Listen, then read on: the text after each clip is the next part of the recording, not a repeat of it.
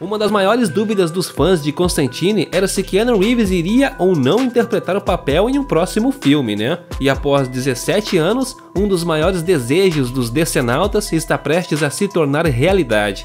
O site Deadline divulgou com exclusividade que a Warner Bros. Pictures oficializou a sequência do filme. Além disso, de acordo com a publicação, o estúdio confirmou também o retorno de Keanu Reeves ao papel principal como exorcista das HQs e também do diretor Francis Lawrence, responsável por comandar o primeiro filme lá em 2005. Ainda sem título oficial, o segundo filme de Constantine terá seu roteiro escrito por Akiva Goldsman, que já trabalhou com a DC antes em Batman Eternamente, Batman e Robin e também escreveu Eu Robô, Eu Sou a Lenda e O Código da Vinci. O cara tem um baita currículo, né? Agora que o filme foi anunciado, a tão esperada sequência ainda espera para uma data de lançamento, hein? O projeto está em seus estágios iniciais de desenvolvimento, o que significa que não haverá notícias significativas aí por um tempinho, né?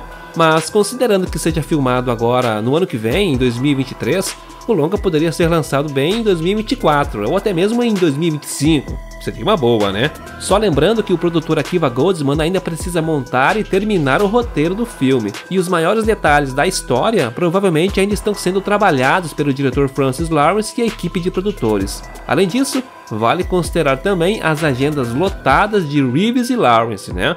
E pessoal, caso vocês não tenham visto meu vídeo de um tempo atrás sobre Constantine 2, clica no card aqui em cima, beleza? Tá bem legal.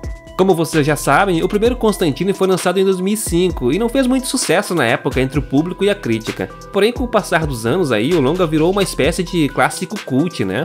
A sequência pegou os fãs de surpresa mesmo, hein? Mas tanto com a popularidade de Keanu Reeves quanto do personagem Constantine crescendo nos últimos tempos aí, certamente esse retorno faz muito sentido, até porque apesar do personagem nos quadrinhos ser diferente do que o Keanu trouxe na versão pro cinema, não dá para negar que a gente tá doido para ver ele voltar, né? E tomara que não demore muito não.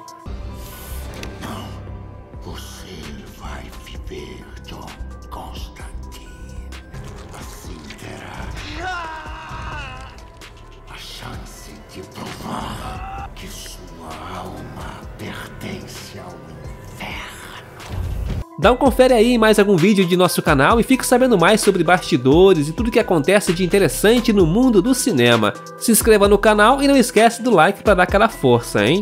Um grande abraço e até a próxima!